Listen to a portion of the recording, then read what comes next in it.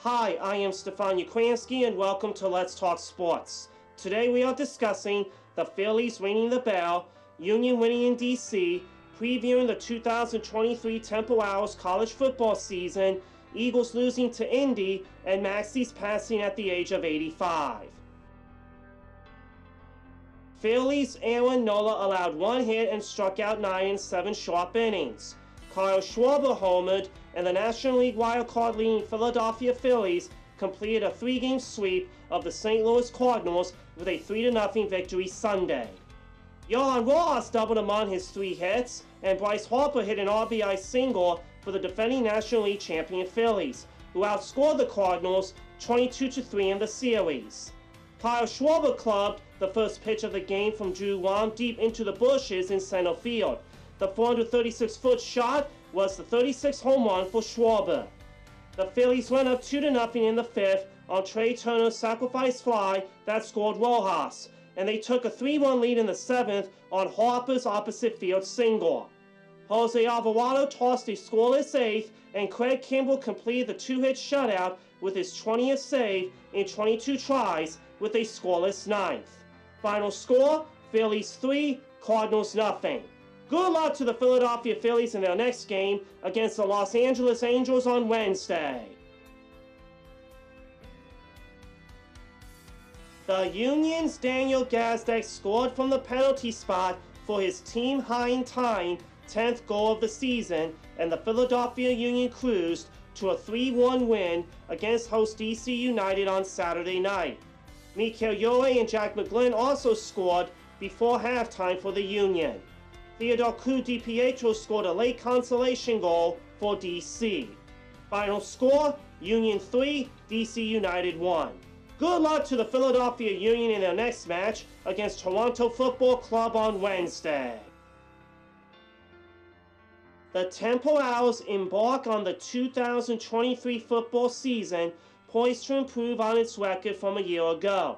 The improvement actually began last year when then first year head coach Stan Drayton took the helm. Coming off a 2021 season where the Owls were defeated by an average of three touchdowns per game. The Owls were much more competitive in 2022, closing the gap to a one score difference. The offense will be led from the start by sophomore quarterback E.J. Warner. Although he began his true freshman season on the bench, perhaps no one in the country wanted the 2022 season to go on more than Warner. He threw for school records in attempts, completions, and yards in the season finale versus East Carolina, becoming the first Temple quarterback to throw for 500 yards. He is also the first to have two 400 yard games in the same season, and the first to have three 300 yard games in the same season. He became just the second Owls quarterback to top 3,000 passing yards with 3,028. His completions and attempts set the school records for a single season. Overall, the 2023 Temple Owls are expecting to continue improving and competing in the new look American Athletic Conference this season. Good luck to the Temple Owls in the 2023 college football season.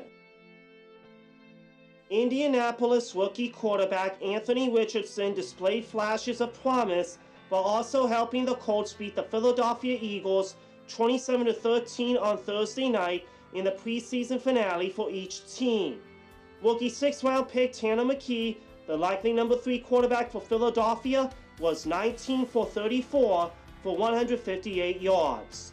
Final score Colts 27, Eagles 13. Good luck to the Philadelphia Eagles in the 2023 NFL season. I am a little rusty doing my picks. Last week I went 2 and 4. Getting the Jets and Jaguars right, I missed the Falcons, Eagles, Patriots, and Saints. Maxie Baughan, a college football Hall of Famer from Georgia Tech and a nine time Pro Bowler in the NFL, has died. A native of Forkland, Alabama, Baughan played for Coach Bobby Dodd at Georgia Tech as a linebacker and center. He was a second round draft pick, number 20 overall by Philadelphia in 1960. He started as a rookie for the Eagles 1960 NFL championship team, earning his first Pro Bowl selection.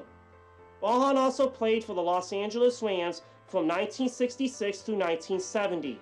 He was an assistant coach at Georgia Tech from 1972 through 1973, before he spent one year as a player coach with the Washington Redskins in 1974.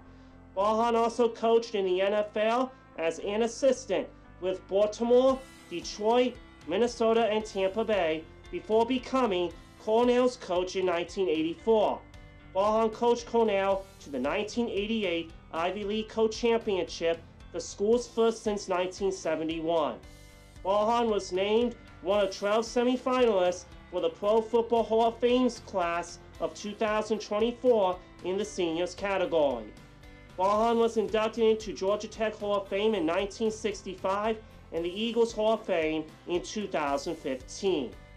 Maxie will be sorely missed by football fans worldwide. The Philadelphia Eagles was established in 1931 as a replacement for what team? The answer Frankford Yellow Jackets.